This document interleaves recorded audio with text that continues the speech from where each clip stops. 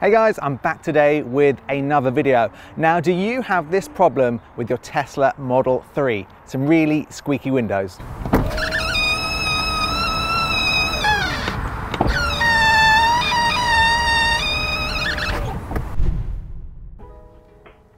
Hey there, welcome to the video. Now, do you have this problem? Every time you open and close a window, it's super, super squeaky.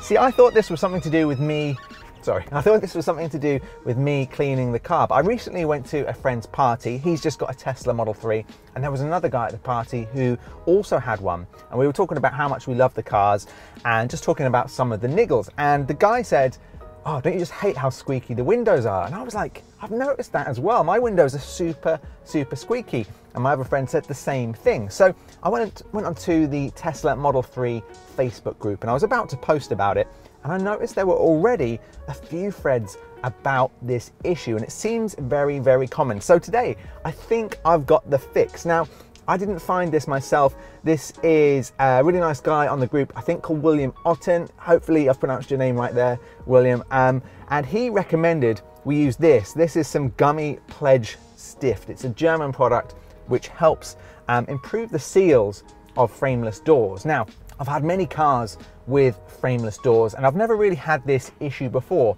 I think the issue seems to be that just Tesla are just not treating the seals very well uh, when they come out of the factory. I'm assuming a lot of car companies will kind of put this on and maybe Tesla is using a sort of cheapened version or they're not using enough of it. So hopefully this is going to fix the issue. I'll put a link in the description below, but now let's try cleaning the windows and the frames, put this on and we'll see if this fixes the issue. So the first thing we're going to do just before I apply this to the seals, I'm just going to give the windows uh, a bit of a clean on the inside with some window glass cleaner. So let's do that first.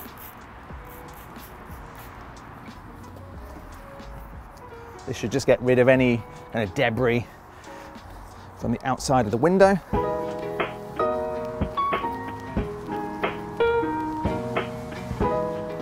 Okay, I'm just finished drying this off with a bit of kitchen roll. Now I'm just gonna just quickly run my uh, kitchen roll across this and I can feel, it does feel very, very dry. So this is all clean. What I'm gonna plan to do is do this on every one of the seals all the way around. Um, so let's get out the product and try it now. Okay, so let's try this out. So there is actually a little applicator on the top here and it works a bit like one of those shoe polishers.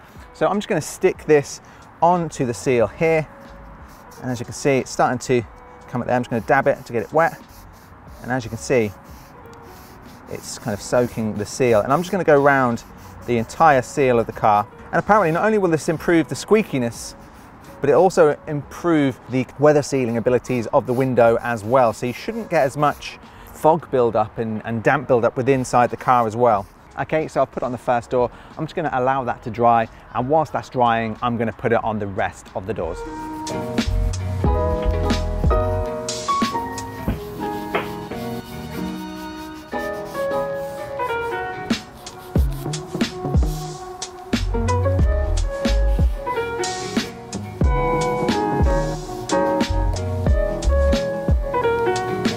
Okay, so now moment of truth. I've done all of the doors. We're gonna get back in the car. Hopefully this has fixed the issue. Okay, so moment of truth. Let's test it out.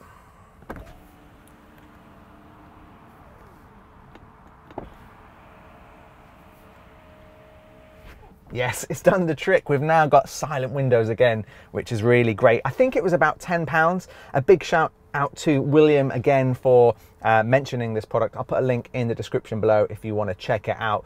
But I think this is going to be something I'm just going to leave in the boot and do every six months or so. I think in the summer, obviously your silicone frameless windows are going to get very dry.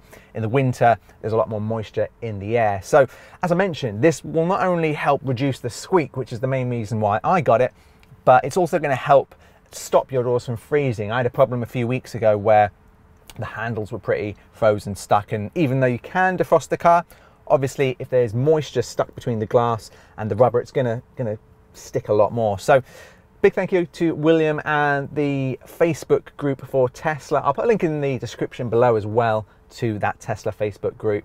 And if this helped you, let me know in the comments section below. I hope it has. Thanks for watching, and I'll see you in the next video.